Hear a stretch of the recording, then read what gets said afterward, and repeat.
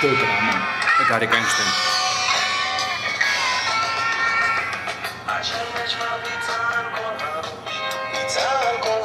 А как тебе эффект? Так, на кухню заходишь, бросаешь телефон в миску Заливаешь варишь пиццу. и варишь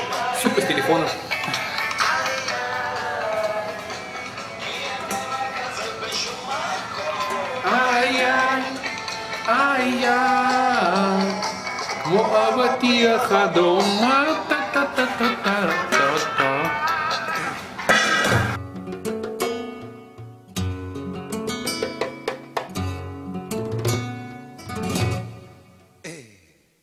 Bonjour. Меня зовут Рома Гершуни, и сегодня мы будем готовить салат нисуаз. Это такой типичный средиземноморский салат, который завоевал сердца израильтян много лет назад. Продается э, во всех пляжных ресторанах Израиля. Я рву сухие листья салата романа.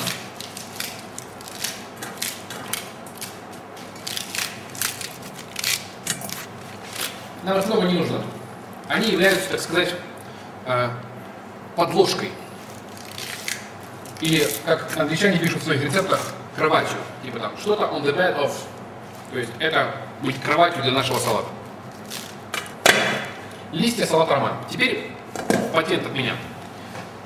Когда нам нужно приготовить соус в небольшом количестве, всегда сложно, потому что блендер, он, он как бы подразумевает, что там какое-то есть наполнение у блендера.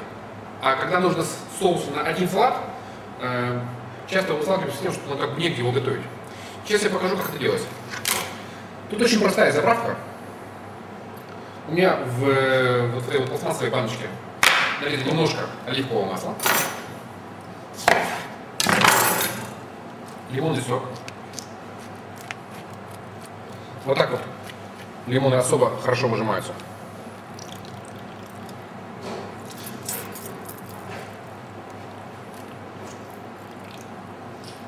Лимонный сок.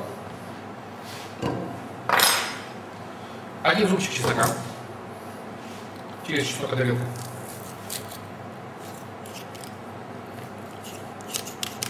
Можно еще один.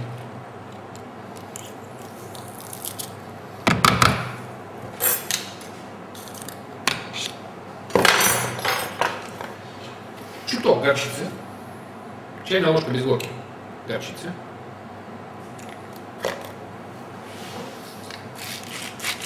соль, перец и очень желательно герметично закрывающаяся крышка.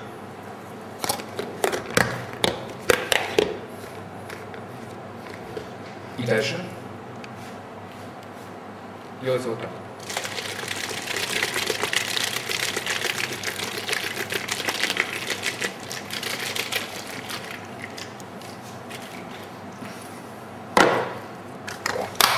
Соус готов.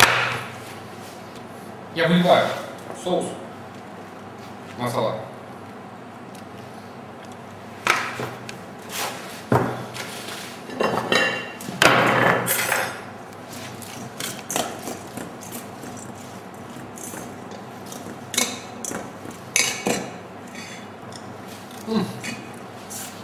Перфекто.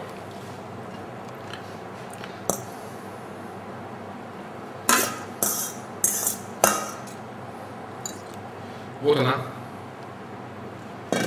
Кровать для нашего салата. Далее.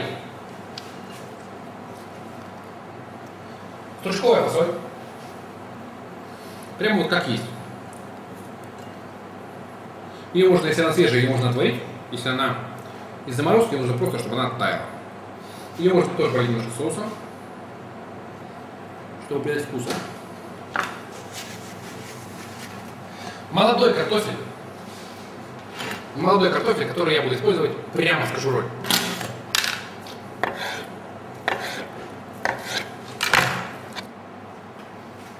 Но мне обычно лень чистить кожуру, и поэтому мне так больше нравится есть. Помидор.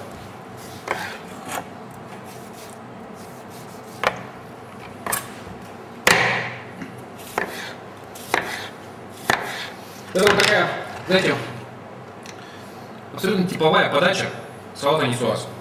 Вот так все укладывается по кругу. Далее яйцо вкрутую.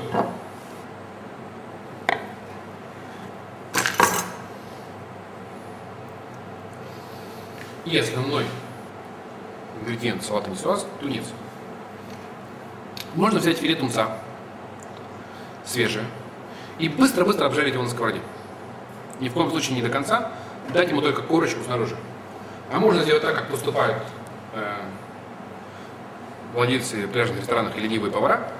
Это взять, купить самого дорогого консервированного тунца, который вот продается в больших банках такими целыми кусками. Бывает, что открываешь банку с тунцом, а там стружка какая-то, вот такая кашица.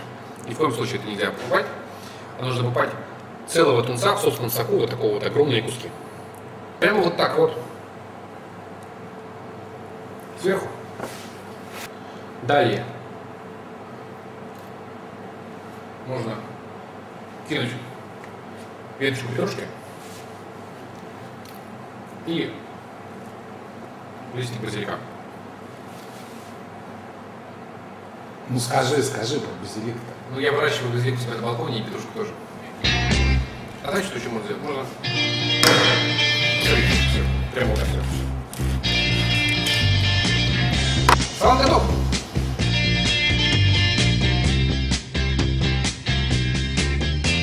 מה אתה עושה כשאתה קם בבוקר? את אותם הדברים. А если это так? Сначала нужно разломать אתה רואה и наколоть как можно больше вещей на ваш лед.